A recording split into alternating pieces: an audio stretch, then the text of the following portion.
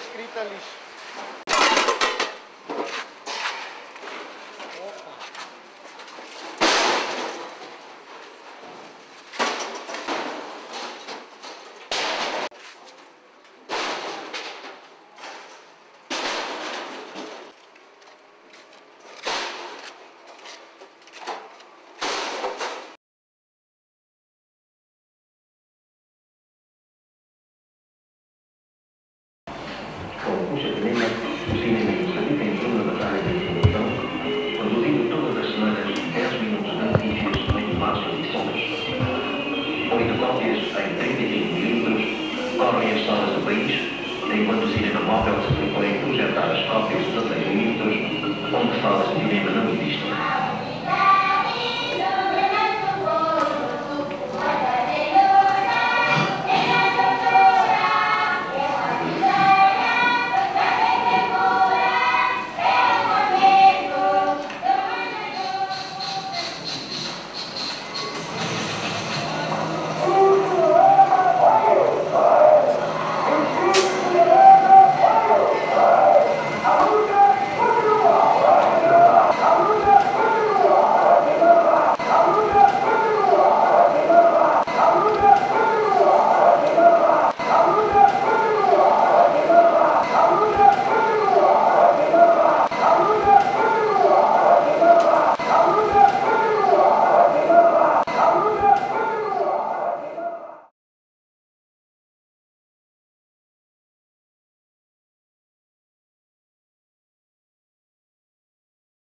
Daqui a pouco tempo eh, regressaremos a Moçambique para trabalhar essencialmente na formação e iniciar outro tipo de atividades, como sejam indexação, catalogação, etc.